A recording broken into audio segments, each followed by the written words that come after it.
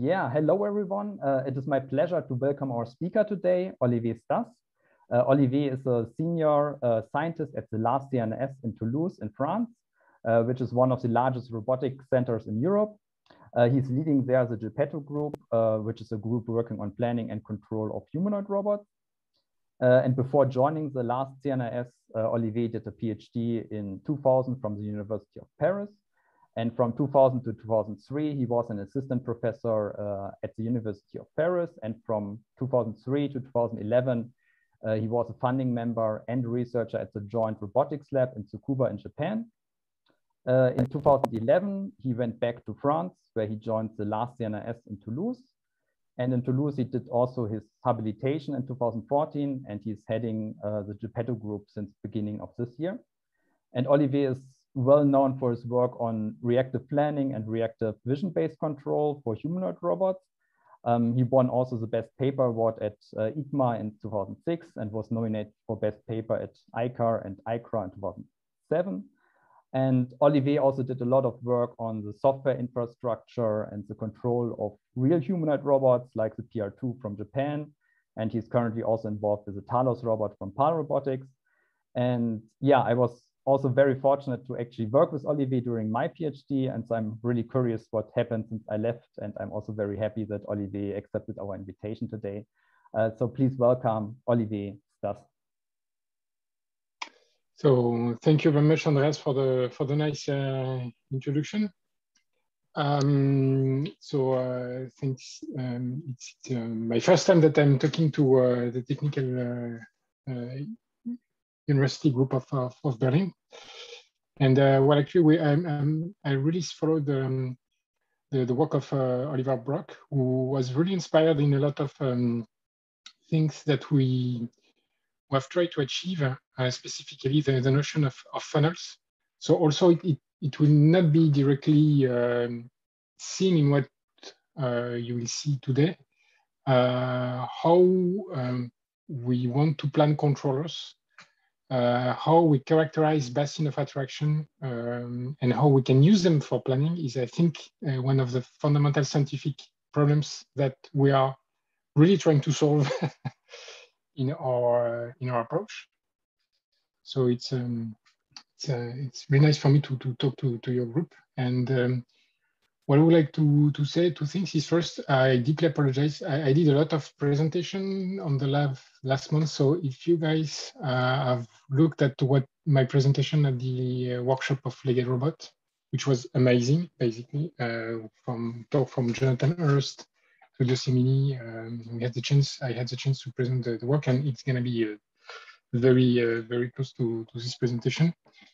If you didn't look at this workshop, um, then uh, it's going to be uh, interesting for you. Then, second point is don't hesitate to uh, ask me any question whenever you want. I don't think I will go back to to some of the mission I presented previously. So feel free to ask me any question whenever whenever you want. Um, okay, so I will share my slide then.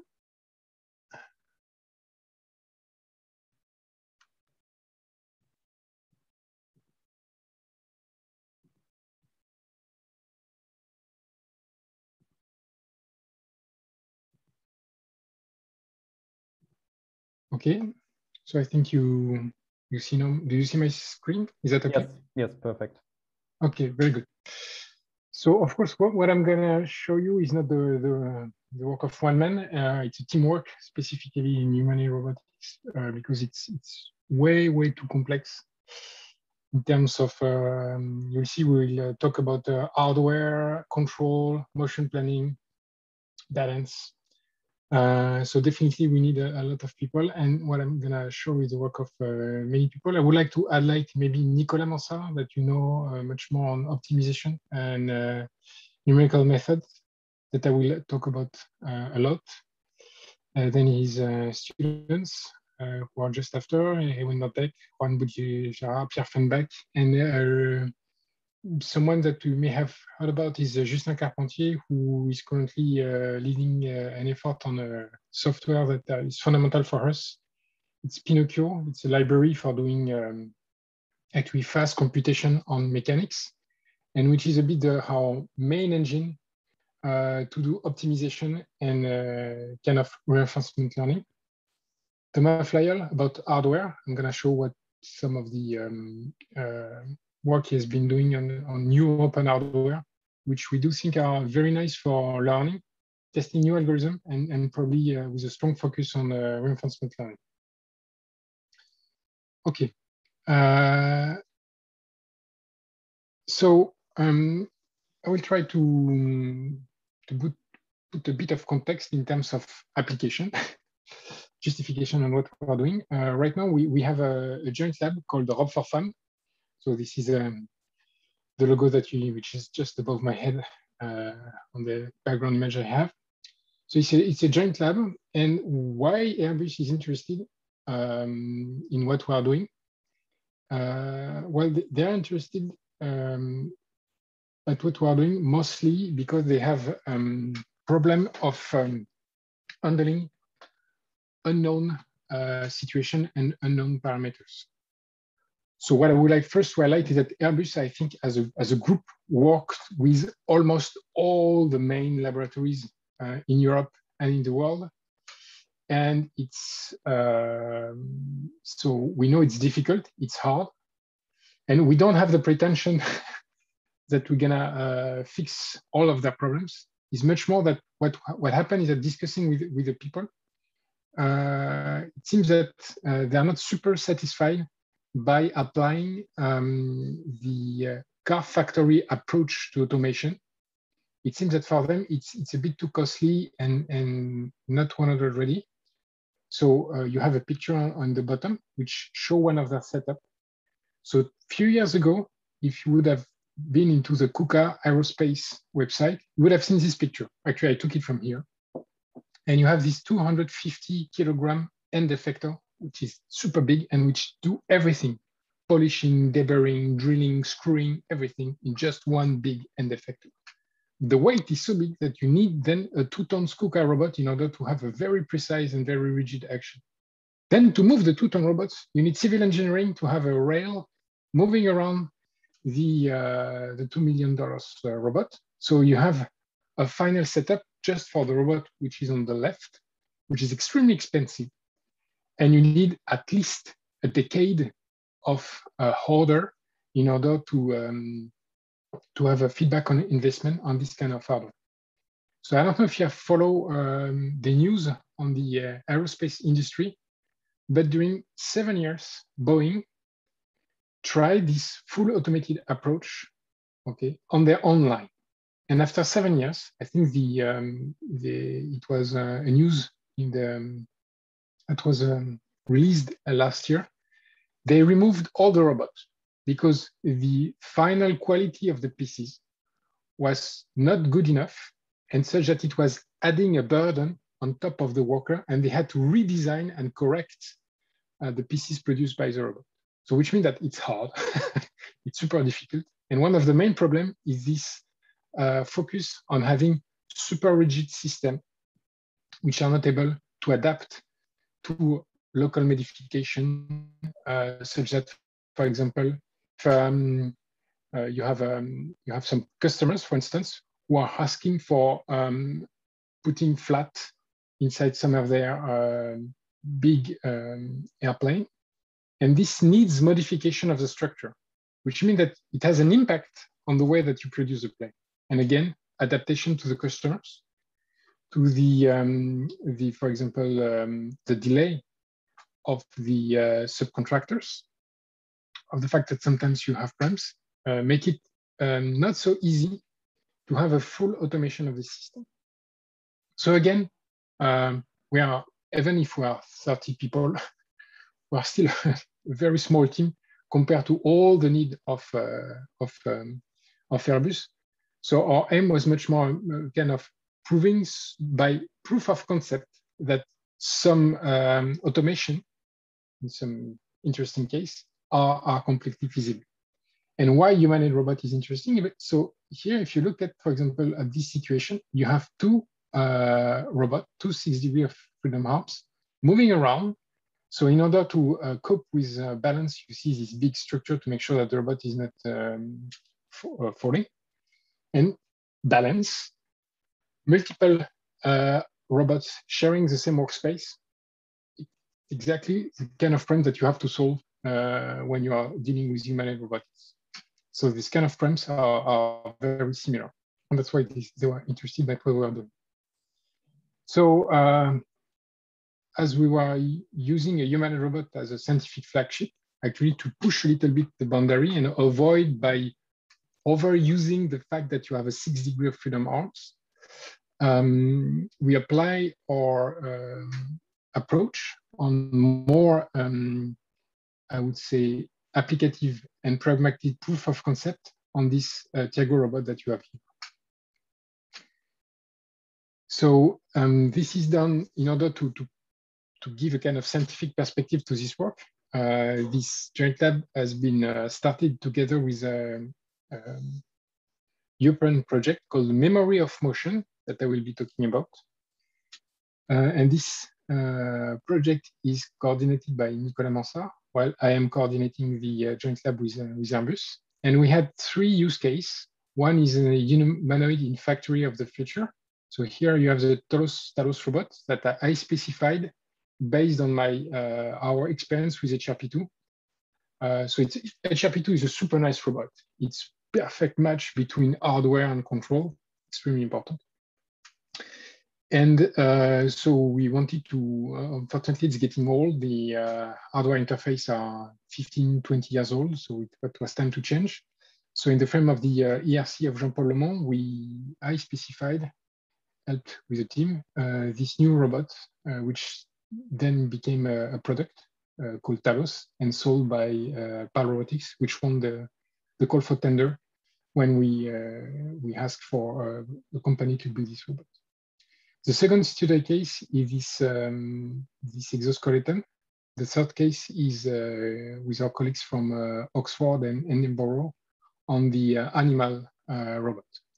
So I, I, will not talk about the case study two and three and focus much more on the humanoid factor of the, the robot. But the aim of this um, European project is to develop generic methodology in order to, to handle um, non so easy motion for robots with leg and arms in real time. So again, to focus a little bit uh, the scope of the application, what we're aiming at is not having a robot moving around in uh, everywhere. We wanted to have our robot working on this, um, this area, which is basically having uh, stairs, uh, handrails, uh, unflat terrains that we know for which we have the models and, and for robots such as Talos here, being able to generate in real time uh, plan for the robot. And it, it, it's really difficult. So I think um, with Andreas, we worked on HRP2 and doing real time uh, um, planning for robot on flat floor with no obstacle or with few obstacle and I think Andreas, uh, with me, I think he, he worked one of the first uh, demonstration we have done on uh, for Airbus, where HRP2 was able to, able to avoid in real time an obstacle. So it, we consider that it's solved in the community. But when we start to have complex environments, um, then the, all the constraints of the robot, collision avoidance, uh, balance, is, start to be a bit difficult and the complexity uh, is exploding. Um, so I will try to make a, a during the talk um, a comparison with the aerial goal, which is um, well, I think people what they would like to have is this um, just one big neural network that you train, for which you just have a quick uh, perception action loop uh, inside the system. And I, uh, uh I think um, after some now experience, we know that the difficulty is on the structure of this network so actually, when you go into this, you find that you really have to, work on it in order to avoid taking weeks of um, proper computational power. Even so, we have seen that uh, NVIDIA is having this new super nice um, video card, which are super faster with a Isaac simulator. It takes several hours uh, in, in, in situations uh, which are not too complex. There have been uh, some nice results on low dimensional space, typically six. I think you will see, for example, Jonathan Hurst with his uh, Digit robot um, has been able to show that he's, uh, he can walk on, uh, on stairs or uh, on an flat terrain, which is pretty impressive. And I will try to see why, why it's feasible and why it's only a six dimensional problem. Um, there are also this uh, nice paper from Lee on uh, quadruped and science using transfer uh, system. Very, very nice. But for Lee, for instance, and for Jonathan Hurst and Patrick Wensing, very often what they do, their reinforcement learning is not this big neural network. They are just uh, guiding an optimization um, approach control system that I will try to detail later on. This we know it's working. Now, the other premise is if you look at the structure of the robot, such as the one from Jonathan Hurst, Patrick on quadruped, and me, uh, the main problem that you have with, um, with humanoids compared to this quadruped is that quadruped, usually they have very lean legs. So these legs are almost no inertia. And then you can simplify actually the dynamics of the systems as a mass model turning around. Uh, and then it's actually breaking down the complexity of the problem that you are trying to solve. When you have a robot such as this guy here with strong arms and heavy legs, it's very difficult to take into account the inertia involved by these uh, the limbs. And it, it makes the state that you are trying to explore much more complicated. So what I'm going to try to, to quickly highlight is that we are trying to, to actually mix AI when we think it, it's fairly uh, it's useful, and actually to complement um, the optimization classical control approach and trying to, to use the best of both worlds. Um, and this is what I will try to highlight in the, the rest of my talk. So um, this is a classical uh, big uh, structure that we have, where basically we have uh, one perception loop. And here, for example, on the first layer, you have a one kilohertz loop, where basically you have a state estimator, which will try to um, actually estimate the base, the position of the base of the robot. So typically for Talos or any human robot is going to be uh, his waist, its waist. And based on the kinematics and the force sensor, you can know where are these base with respect to the ground. And then you send this to a, a QP controller, which is fairly um, understood now, so I, will not talk about it. And then uh, create an action. And if you want to do a stabilization, most of the uh, current state-of-the-art stabilization are working on the centroidal dynamics, which is a, a, first way of breaking down the problem, which we found it as a necessary condition. Like if you want to be balanced, the first things is that you need to, to uh, compensate for gravity so as for the forces and for the uh, angular momentum. And this is for any rigid uh, body dynamic system. So it doesn't matter if it's a human and robot, if it's um, a crane, if it's um, a quadruped, or a mobile robot such as a Tiago, uh, it's going to be exactly the same formula instead you can use it. Now the problem is when you start to do this for system where you, you need to be in contact with the environment, you need uh, to consider not only instantaneous control, which is done by stabilization and one body controller, but you need also um, to cope with the future of uh, the immediate future of your system. And for system uh, control at 200 hertz, you need to take into account 1.67 in the future to in order for to, to control your to, to make decision with your state.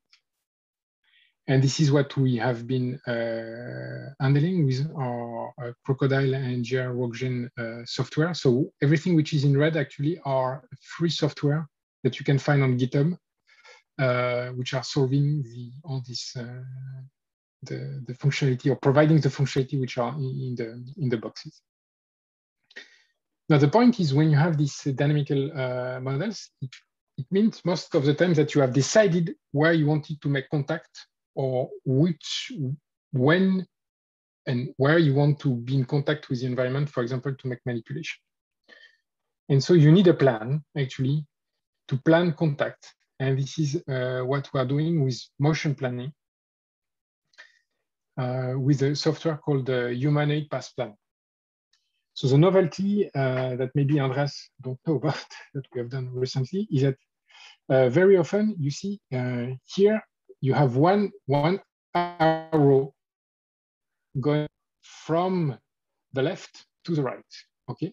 And what does that mean, this, this, all these steps? It means that actually if something uh, goes wrong at one of the, of the part, uh, you don't know how to come back. The only way that you can come back actually is through perception to create a new instance of the problem. And then you propagate again uh, the system. So you want to do motion planning, control, constraint contact, central model PIF control, stabilization, and QP. And this is where we go back to the notion of funnel.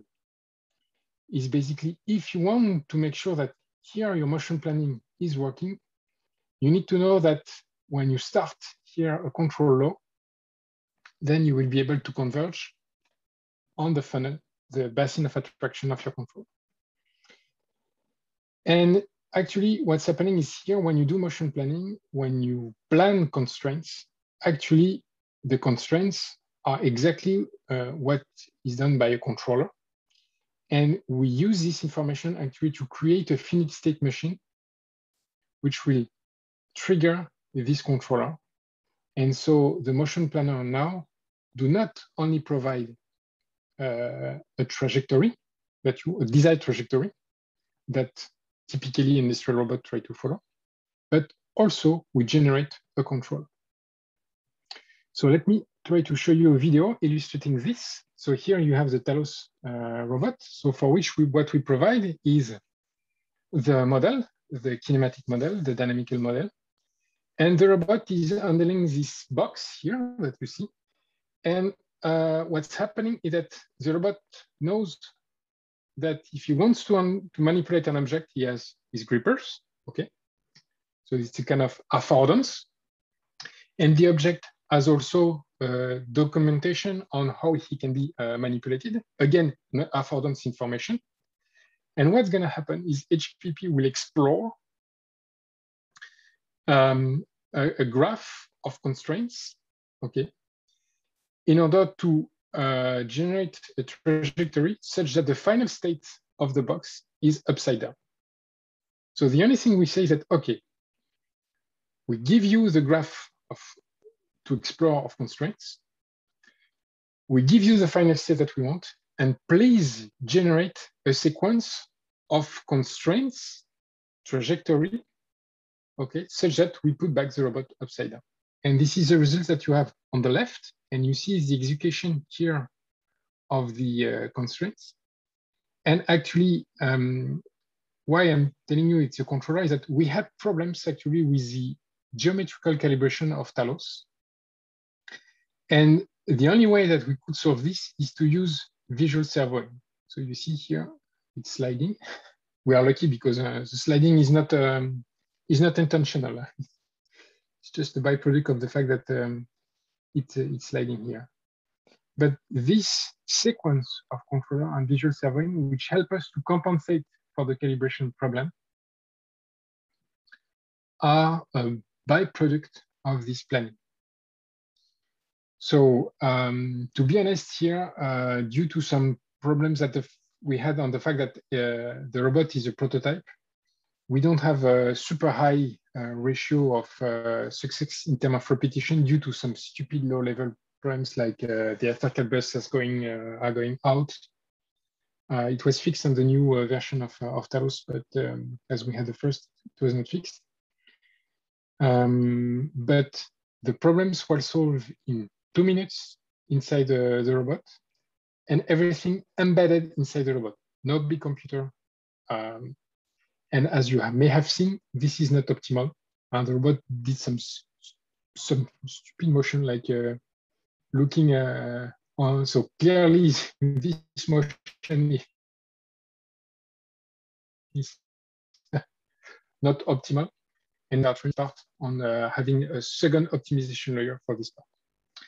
So uh, now when we are quite happy uh, with uh, about this robot and Tiago is that it's done by the same company called PAL Robotics, and they are a big fan of ROS. So they are using ROS control, and, and the nice stuff with ROS control is that you have an abstraction of the, uh, of the hardware and an abstraction of the controller. So using exactly the same binaries, not the same instance of the, of, of the controllers, but on Tiago, we were able to have um, a more practical proof of concept for Airbus, which was uh, which was accepted for CASE 2021. Is here you have um, a 3D print of a pieces of, uh, of an airplane, which is connecting um, the motor of an airplane with the wing. And uh, you have to perform a deburring, which is basically removing some parts of the drilling. And you do this with a driller. And uh, what's what we are doing here is uh, we are planning online motion on the Tiago robot. And uh, you will see that it's needed for several reasons. First, the robot is using, uh, so here the robot is moving toward uh, the piece using the navigation. And the final uh, positioning of the robot is not super precise in our case. So which means that you cannot pre-plan the trajectory. Depending on your location and where you are, you need to uh, replan the trajectory.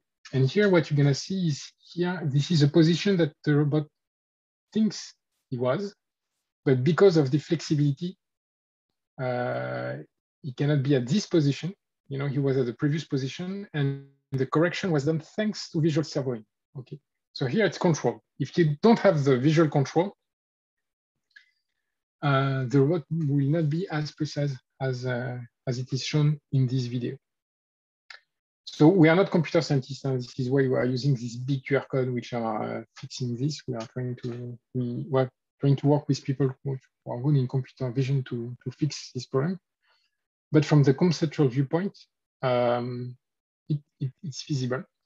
And we have this sequence of, uh, of action, which again are generated automatically by the planner. Send to the low level.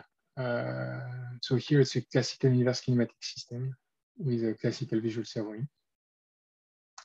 And everything uh, embedded inside the, the, small laptop, which is on the top of, uh, of Tiago.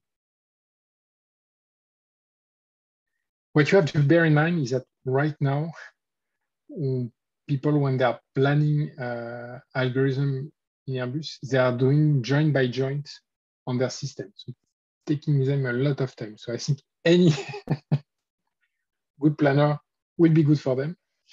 Uh, but this planning a fin state machine, I think there is uh, this is not something that you, you will find um, uh, readily available with MoveIt.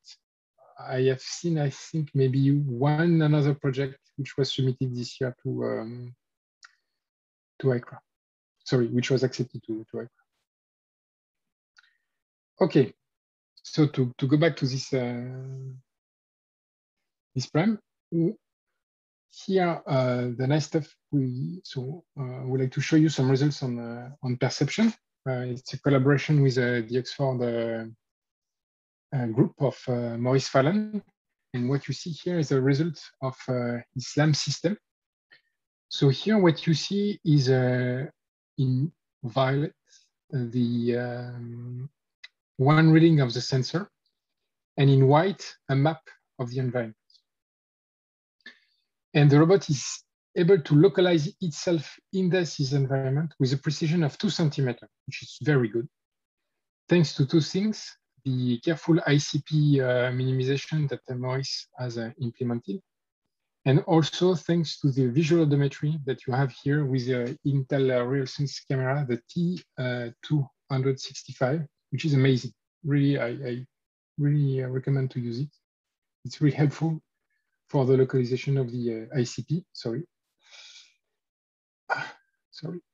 And um, what we have done here, and again, this is thanks to the composability of uh, ROS control. Um, and, and very to say that, sorry to say that we don't have yet our own uh, pattern generator. Here you have the one from uh, Robotics and actually they, they, they use some of the of the work that we have done inside the inside the group. uh, to generate in real time uh, footsteps. And uh, what you can do now with, with this robot, give him on the fly uh, location. And thanks to this laser system, he can reach it. So actually we have 20 centimeter of precision, but it's not due to the SLAM system. It's due to the imprecision uh, actually of the robot. We have a flexibility on the hip, which do not allow us to be super precise uh, in, in, here in this uh, motion. I will show you um, how we deal with more precise uh, motion in the next uh, in the next video. So um, th there are problems with the classical approach. Sorry, I'll try to get back here. Is that again um, this flow here that I show you in the centroidal dynamics manipulative control? It, it's really a problem in the sense that here very often you assume that you have a linear inverted pendulum, which means that you completely ignore the inertia produced by the, uh, the legs of your system of your, and actually you, you should not. Um, if you do that, you have five centimeter of difference, okay, between the trajectory generated here by classical algorithms and the whole body control. So there are some techniques like dynamic filtering uh, or um, um, angular momentum control, which will restrict this, the, the range of motion that you can do. But if you want to exploit it, actually you need to take into account the whole body, the whole body of your system. And this is difficult to do that in a model predictive control way because it's really extremely costly in terms of, um, of computation. And the reason why, despite what I just told you that it's super expensive, we went into this direction is because we were shocked by the uh, super nice results of uh, um, Emmanuel Todorov. Maybe you know him because he's the guy who invented uh, MuJoCo, which is um, kind of a basic engine on, uh, on a lot of people who are doing uh, reinforcement learning. But the basis, it's a differential dynamic programming, which is it's a model predictive control where um, basically uh, you are solving very quickly, um, you are simulating your system, checking the distance to your uh, final goal, going back, modifying your control, applying again the control, checking if it's correct or not, and back and forth, you can correct. So we analyzed how he, so he has made a very careful uh, implementation. And one of the trick he did is he convexified the contact model of his system. We applied it on HRP2 and one of the it works very well if you are static, but if you start to uh, do uh, feedback on the system, it doesn't work or it was not fast enough. And if you are trying to work with it, uh, the contact model is not good enough. So we have seen those, those problems and we said, okay, but our motion planner actually doesn't have to find by himself contact. This is a byproduct of uh, MuJoCo system. He's able to find by himself contact. So if we give him contact, maybe we can still keep the same um, speed of resolution of the whole body MPC and more be more precise.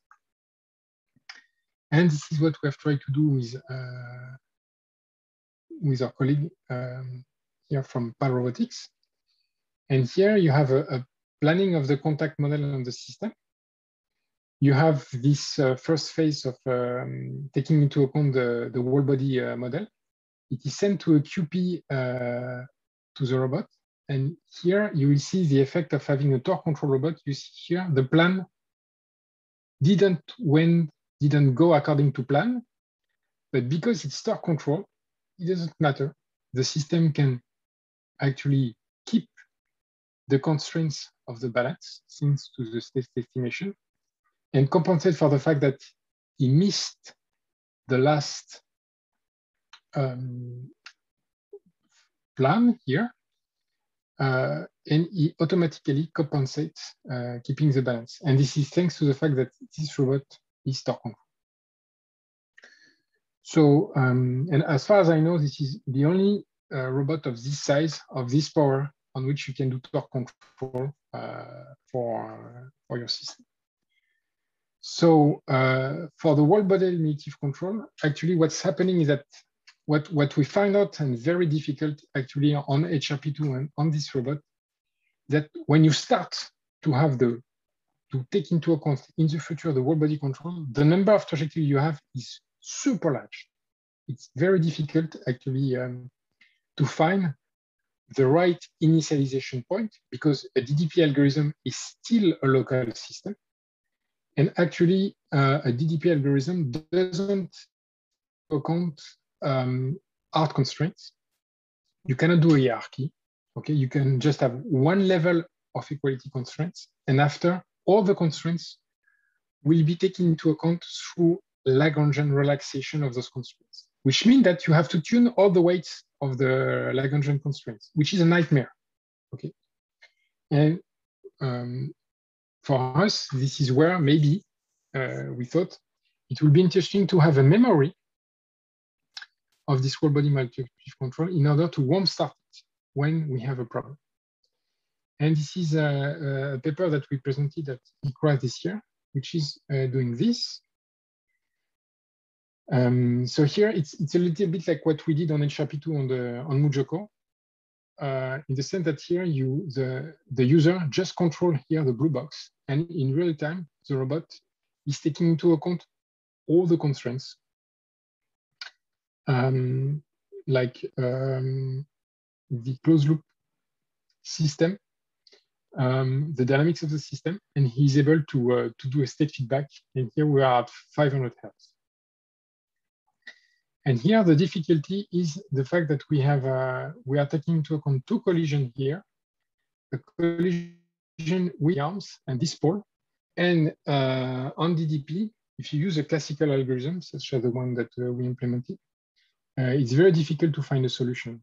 And here the system find a solution because we use uh, a previous exploration of this, uh, of this system. And we are warm starting our DDP with um, this, this knowledge. And this is where we think that we, we cope with um, the interesting aspect that we have the best of both worlds by having optimization, which allow us to, to go directly into the right place for our system using most of the knowledge that we have and at the same time using this memory uh, in order to, uh, to find very quickly the right basin of attraction. Again, funnel, which is a fundamental concept here. Where is my basin of attraction where I just let my algorithm adapt to the real-time capabilities in order to uh, cope with um, things which are not inside my model, stuff that I didn't plan, stuff that I didn't um, I didn't prepare. And again, uh, let me accelerate a little bit here, torque control. So you can't mix MPC and torque control thanks to the state feedback. And as far as we know, this is the first time that um, a model predictive control with state feedback, maybe inside Boston Dynamics, but we don't know. as far as we have understood from uh, Scott uh, who, who's very nicely cited us, um, we don't, I think they are using the classical approach with a mixture maybe of, of memory. But here you have the, the full state feedback uh, the So as you can see here, we, we don't have still the contact transition. This is what we're working on right now. But again, for us, the nice improvement compared with what we have done with HRP2 is this state feedback inside the robot that we didn't have uh, on, on HRP2. So it's already 45. Uh, now after it's only math. Maybe if you guys have question, uh, it's a good time, and then I can go deeper according to the question in some specific uh, some specific area. But I think I gave you the overall picture. Sorry if it was high level. We like math. We like uh, optimization, and I have slides uh, for that if you guys want. Okay, uh, thank you, Olivier.